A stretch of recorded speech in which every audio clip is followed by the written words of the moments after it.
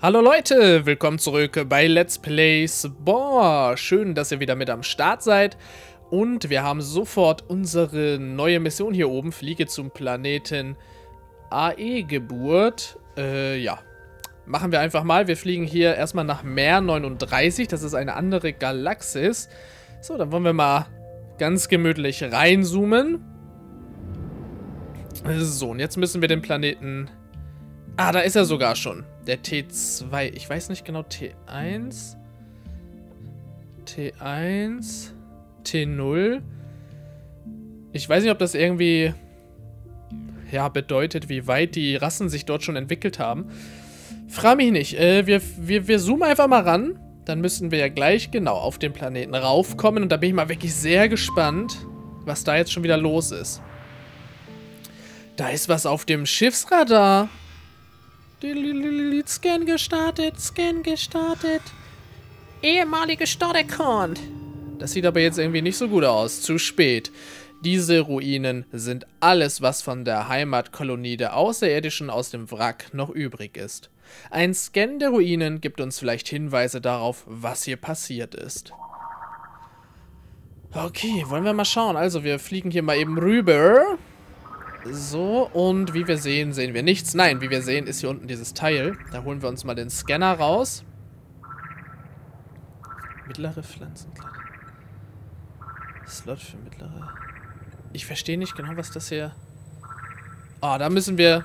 Da kriegen wir bestimmt nochmal einen Dingens für. So, wir scannen den Spaß hier erstmal. Da kriegen wir bestimmt noch ein Tutorial für, was diese ganzen T-Stufen bedeuten und so weiter. Der Scanner hat nichts ergeben. Eine aber eine Reaktion hat er trotzdem ausgelöst. Wir haben da irgendwie Aktivität auf dem Radarschirm. Oh, okay. Vielleicht doch noch irgendwie was? Nee. Der Scanner muss die Verteidigungsanlage der Kolonie aktiviert haben. Diese Drohnen wirken nicht sehr freundlich. Moment, da kommt ein Funksignal rein. Warnung, Eindringlinge der Grogs entdeckt. Alle Grogs-Eindringlinge werden vernichtet. Äh, Grogs? Initialisiere Selbstverteidigungscode GROX 999. Alle Grogs-Eindringlinge werden vernichtet. Äh, äh, wir sind keine Grogs. Warnung, alle Grogs-Eindringlinge werden vernichtet. Zum letzten Mal, wir sind keine Grogs. Egal, das scheint ihn nicht sonderlich zu interessieren, leider. Ey! Wieso zum Teufel sehen die... Warum zum Teufel sehen die denn genauso aus wie wir? Die Drohnen sehen ja genau aus wie unsere Raumschiffe. Die haben meine Technologie geklaut. Die alten Cheater, ey. Oh Mann, Mission ausgeführt. Okay. Ja, ich habe die Mission jetzt fertig.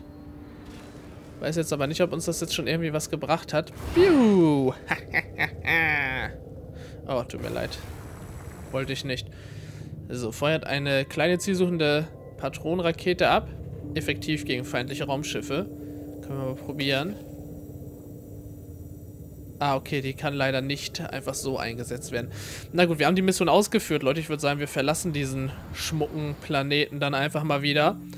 Kehren in unsere Heimat Galaxie dann auch zurück oder in unser Heimat-Sternensystem. Ganz genau, hier wollen wir hin.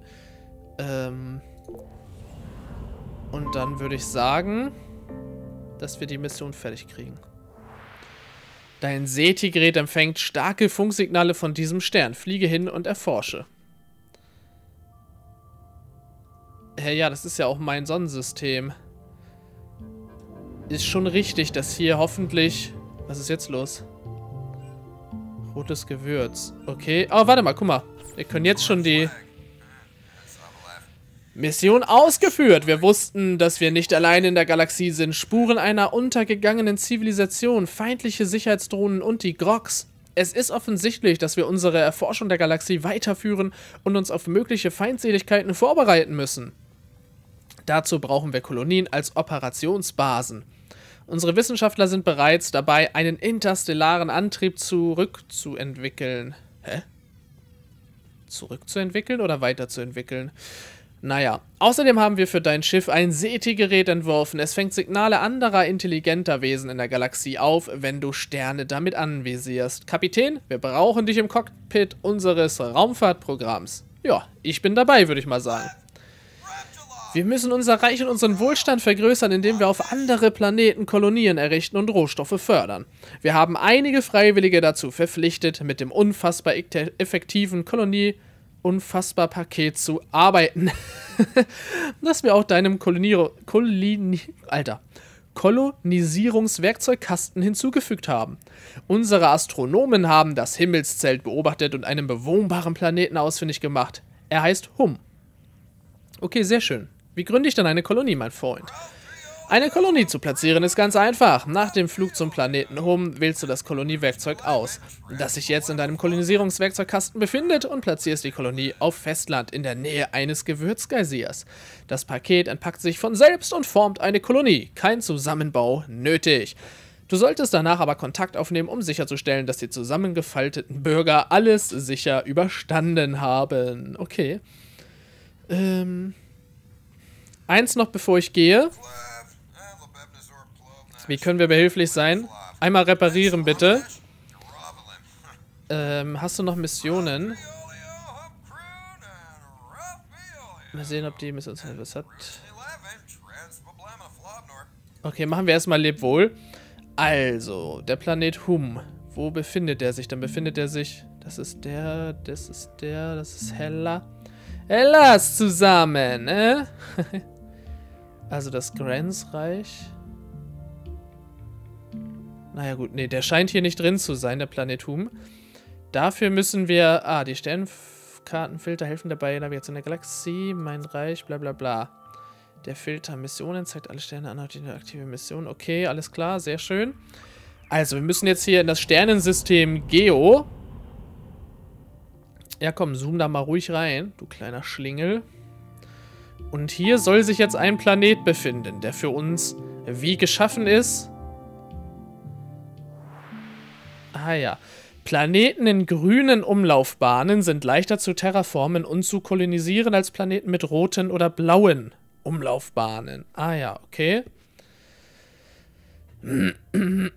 Das ist Rebat, das ist Hum. Ah ja, sehr schön. Und das hier ist Her. Wir sollten jetzt auf Hum einen bauen.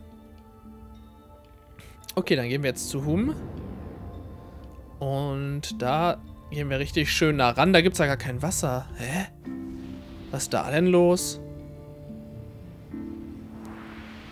Kolonien können auf jedem Planeten angelegt werden. Vom kargen Mond bis zur blühenden Terrascore 3 Oase. Ertragreiche Kolonien fördern Gewürz, das gehandelt werden kann. Okay, sehr schön. Also, das ist jetzt hier scheinbar so ein Planet. Setze dein Koloniefahrzeug ein, um eine Kolonie zu erstellen. Befindet sich im Geosystem. Platziere die Kolonie auf dem Festland und in der Nähe von Gewürzgeysiren. Also hier drüben wären direkt zwei recht nah. Also eigentlich sind hier ja doch recht viele Gewürzgeysire. Wenn wir so eine Kolonie jetzt hier hin platzieren. Ah ja, guck mal, da sehen wir sogar den Umkreis. Kriege ich da zwei Gewürzgeysire rein? Ja, so würde ich... So würde ich jetzt zwei reinbekommen. Mehr als zwei kriege ich aber, glaube ich, nicht, wahr? Machen wir es so. Ich würde sagen, hier packen wir mal die erste Kolonie hin. Das würde ich mir gerne ein bisschen näher anschauen. Hey, sehr schön. Zack, da wird die Stadt gegründet. So muss es sein. Ah, die Gebäude muss ich wahrscheinlich wieder sehr... Nee, oder? Oder wie, oder was, oder wer, oder wann, oder wo. Haben wir keine Atmosphäre hier etwa? Oha. Glückwunsch, dein Reich ist gewachsen. Die Produktivität jeder Kolonie hängt von ihrer Größe ab und die wiederum wird vom Terrascore des Planeten begrenzt. Investiere erst ins Terraforming, gründe dann Kolonien und errichte Gebäude, um maximalen Gewinn zu erzielen. Okay. Erstatte auf deiner Heimatwelt Bericht, worum und Ehre auf dich warten. Ah, okay, ich soll jetzt erstmal wieder nach Hause fliegen. Okay, und dann sagen, ey, guck mal, ich habe eine Kolonie gebaut, ich bin voll toll. Mögt ihr mich jetzt? Heieiei. Na gut, schade, dass man nicht direkt irgendwie zu seinem Heimatplaneten wieder hinfällt. Ah, guck mal, warte mal, kann ich direkt sagen? Jetzt wird mir angezeigt direkt, welche Planeten... Ah, wenn ich da mal war. Jetzt sehe ich da, was da los ist. Okay, also auf Grand Sania... Es gibt unterschiedliche Farben von Gewürzgeisieren scheinbar. Oha, Leute. Ich glaube, diese Weltraumphase hier, die wird noch richtig geil. Ich glaube, da wird es noch einiges geben. Was wir da erforschen können und so weiter. Ja, genau. Erstmal... Oha. Erstmal schnell wieder in unsere... Auf unseren Heimatplaneten. Du hast Gewürz gesammelt. Gewürz ist ein wertvoller Handelsartikel. Sammle es bei jedem Besuch in deinen Kolonien oder auf deiner Heimatwelt ein. Okay, kann ich gerne machen, ja. Äh, ah, kann ich jetzt hier schon Bericht erstatten. Sehr schön. Äh, wieder einmal ausgezeichnete Arbeit, Captain. Eines Tages wird unser Reich die Galaxie beherrschen. Wir verlassen uns darauf, dass du diese Kolonie regelmäßig besuchst, um das produzierte Gewürz abzuholen. Unsere Wissenschaftler sind damit beschäftigt, neue Technologien zu entwickeln, um den Terrascore von Planeten zu erhöhen. Eines Tages wird das auch unserem neuen Kolonieplaneten zugutekommen.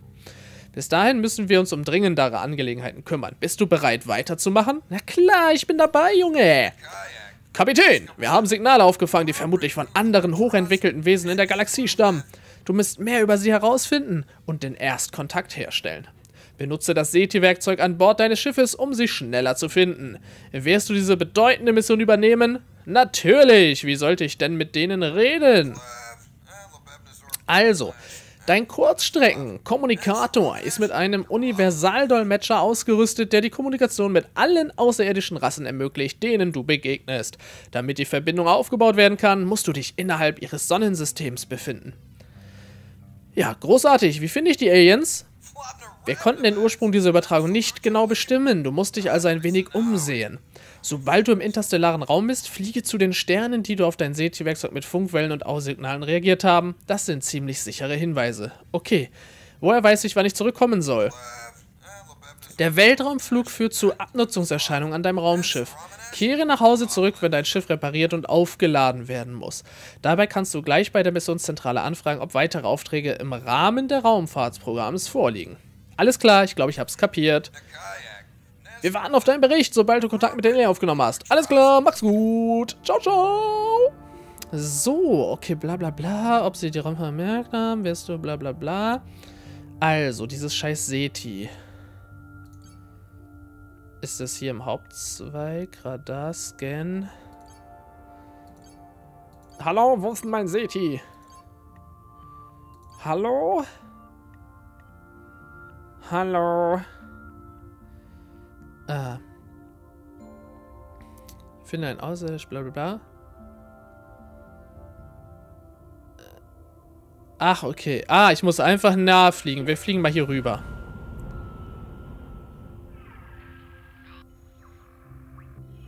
Doch, ah, warte, guck mal. Hier scheint was herzukommen. Das sieht auf jeden Fall so aus wegen diesen Signalen. Deswegen gehen wir hier mal näher ran. Und, ah ja, da soll es wirklich sein, Leute. Und da fliegt wirklich einer. Och, hat der ein schönes Raumschiff. Erpels Gleichung war korrekt. Eine lebende, außerirdische Rasse. Wir sind nicht alleine. Es sieht so aus, als hätten sie einen gestanden, äh, einen Gesandten geschickt, um dir Grüße zu übermitteln. Vielleicht solltest du mit ihnen reden. Öffne dein Kommunikationsmenü. Okay. Ist das mein Kommunikationsmenü? Ach nee, das ist mein Kommunikationsmenü. Äh... Halte nun dein Plädoyer, warum du weiterhin existieren solltest. Oh, die sind uns aber nicht gut gesinnt. Wir misstrauen Fremden. Äh, Blick auf, ich komme von der großartigen und mächtigen Planeten Grand Sania. Aha, wir sind sehr gespannt auf deine Demonstration deiner sogenannten Großartigkeit. Alter Vater, der will's gleich wissen. Also, ich bin gar nicht so klein, wie du denkst, aber machen wir mal weiter. Ähm, ich könnte mich hier aufladen, kostet aber Geld. So sprich denn, was willst du? Vielleicht haben die Missionen für mich. Äh, während du für uns tätig bist, können wir uns viel freier dem Kampftraining widmen. Gibt es irgendetwas, was erledigt werden muss? Glaubst du, du bist stärker als die Kabakreich? Beweise es! Begib dich zum Planeten Euria und trotze allen Gefahren, die dich dort erwarten. Es wird sich zudem für dich lohnen. Okay, erzähl mir mehr darüber. Das Kommando über ein Raumschiff macht nur die Hälfte der Pflichten eines Weltraumkapitäns aus. Die andere Hälfte erfordert taktisches Geschick auf der Planetenoberfläche, denn du wirst bei deiner Mannschaft das Raumschiff verlassen und dich auf Planeten hinunterbeamen. Hinunterbeamen? Unsere Wissenschaftler haben dein Schiff mit einer Teleportmaschine ausgerüstet, die dich und deine Mannschaft auf die Planetenoberfläche hinunterbeamt, damit du dort planetare Missionen durchführen kannst. Eieiei, cool. Äh, ja, alle coolen Kapitäne haben sowas natürlich schon. Und deswegen ist die Frage jetzt, sind wir bereit für einen Besuch in Wat Tego? Ein Abenteuer? Leute, ich bin dabei. Sobald du auf Euria angekommen bist, musst du dich auf den Planeten runterbeamen. Zuvor hast du noch Gelegenheit, dein Außenteam auszurüsten. Bei manchen Abenteuern kannst du Mitglieder deines Geschwaders runterbeamen. Deine Bezahlung wartet bei deiner Rückkehr schon auf dich. Okay, sehr schön. Verstanden, Missionszentrale. Wir haben uns jetzt also eine Mission gegeiert bei dem Kerl. Ähm, bla bla bla bla. Und wir sollen jetzt hier Wattego besuchen. Wo ist ein Wattego? Das ist das hier, ist es nicht. Das ist wahrscheinlich gar nicht in diesem Sternsystem. Nee. Wir müssen hier wieder mal raus. Und ja, wie ihr seht, der Filter Verbündete und Feinde zeigt an, welche Gebiete von Freunden oder Feinden kontrolliert werden. Das Filter Reiche zeigt alle Sterne an, in denen außerirdische Reiche beheimatet sind. Also, ich könnte jetzt nach Hause fliegen. Warte mal, ach guck mal, ich kann gar nicht direkt... Doch, kann ich doch. Äh, was wollte ich jetzt sagen? Sind hier noch irgendwo Signale? Nein. Mhm. Ich könnte jetzt hier verliegen und die Mission zu, äh, zu Ende bringen, dass ich jetzt Kontakt mit den Außerirdischen hatte. Aber ich würde sagen, wir äh, fliegen erstmal beim nächsten Mal hier nach Lin 22, wo wir dann die Mission machen, wo wir uns auf den Planeten hinunterbeamen. Da bin ich wirklich sehr gespannt, was wir dort machen müssen, Leute. Ich würde mich freuen, wenn ihr auch beim nächsten Mal wieder mit am Start seid, wenn es heißt Let's Play Spore. Also der Weltraummodus verspricht wirklich einige interessante Sachen hier bereitzuhalten für uns. Die Abenteuer können also losgehen. Vielen Dank fürs Zuschauen und wir sehen uns morgen wieder, wenn du magst. Ich würde mich freuen. Bis dahin, machet gut. Ciao, ciao.